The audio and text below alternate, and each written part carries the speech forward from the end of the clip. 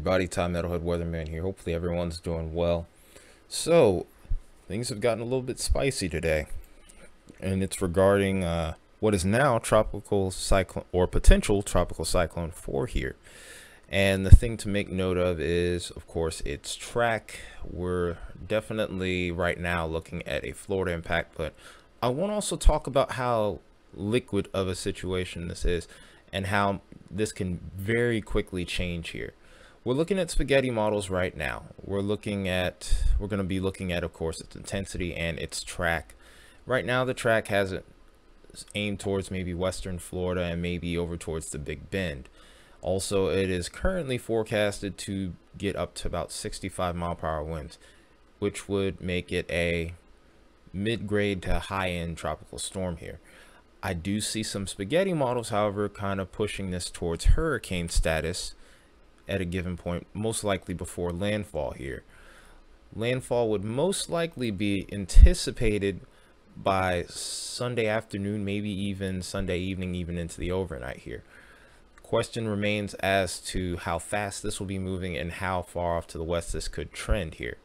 So if we go back on this screen here, I want to first show you the morning time spaghetti models here, what I want you to pay attention to is notice how a lot of them were a little bit further off towards the east. So a lot of it was showing a West Florida in, impact or landfall here. And if we go over to this afternoon's models here, notice now we're starting to see a few more of these starting to push off to the west here and off to the north a bit too. So like I said, very much a uh, liquid situ situation here. I don't know why that's such a tongue twister for me, but very much a, a liquid situation as to where this storm's going to end up here.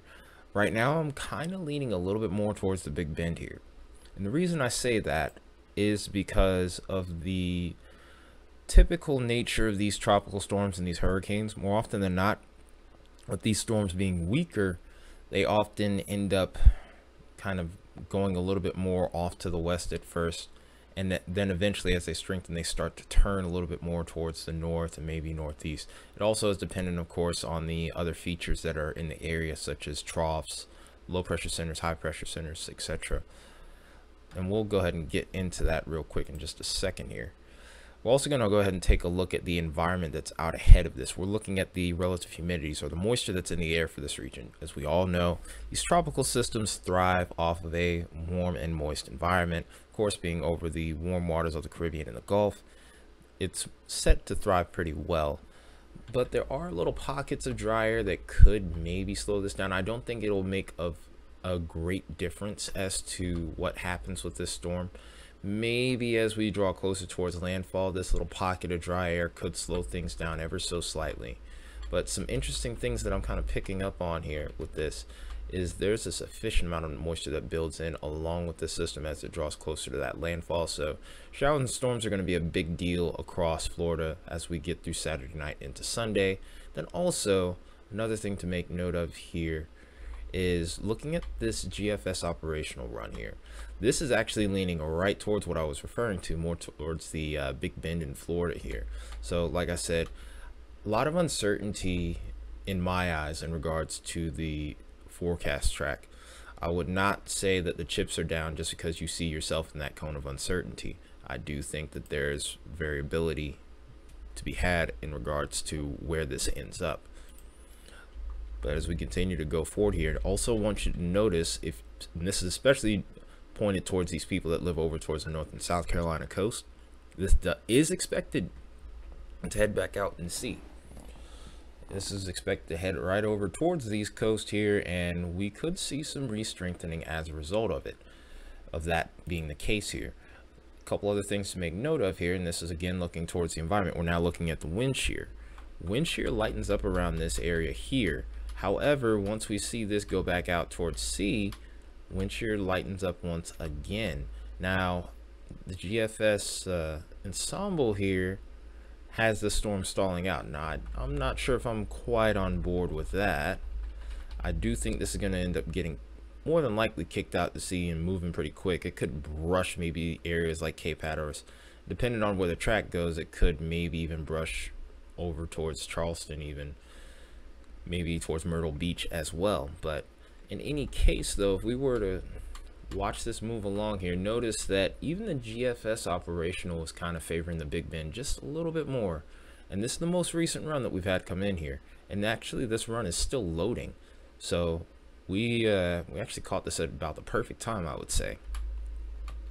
But what I want what I want you to mainly take notice of here, and we'll go back to the the uh, operational run here, is that even though while like I said, I'm anticipating more of the outcome of what we see with the operational as far as we get towards about a week out. I would expect this to move off to the northeast. Still notice that this storm starts to re-strengthen once it gets back out into the Atlantic here. And a big part of why that is is going to be due to the warm sea surface temperatures that are across the board here for the Atlantic, especially the western Atlantic. So this is the Gulf Coast right here. This is this is where the storm is expected to be here. And you see these areas where we're at about 30 to 32 degrees Celsius. So put that in perspective for you. That's getting to or exceeding 90 degrees Fahrenheit. Tropical systems usually can start to get going at about 80 degrees. So I do think uh, some notable intensification. I wouldn't say rapid intensification, intensification or bombing out will happen, but in this kind of environment, this storm, I expect it to strengthen pretty quickly. So I think an increase to hurricane is not out of the question at all. And then even if it gets through Florida here and gets back out into the Atlantic over here towards the Georgia and the Carolina coast, I do think that there's a chance that this re-strengthens, maybe even strengthens up to hurricane. And look how warm the water is even heading up towards the North Atlantic here. Still sufficient enough waters for the storm to continue to thrive. Really, it's going to be down to how much wind shear is a little bit for a little uh, how the wind shear is a little bit further up here. The thing to make note of here, though, is we still have a very much ripe environment for tropical systems. And as this wind shear continues to lighten up as we go further along in our model run here, I am concerned about conditional sto uh, additional storms and the conditions that will exist across this region if these storms are able to get past the 60 degree west line here. So we're just going to have to keep an extra close eye on what is likely to become Debby. and then after that we're going to be paying extra close attention to storms after that as well because as we know as I've said before we're far from done with hurricane season in fact we are heading towards what's historically known as a peak so definitely time to be paying attention if you're anywhere along this coastline from the Carolinas all the way through Georgia through Florida and through the Gulf Coast itself here. That being said we'll have an update video tomorrow and then we'll try to figure out the schedule with what's likely what i'm almost certain at this point is to become tropical storm Debby, maybe even hurricane Debby. but appreciate you guys watching. See you guys next time. Till then take care and have an awesome rest of your night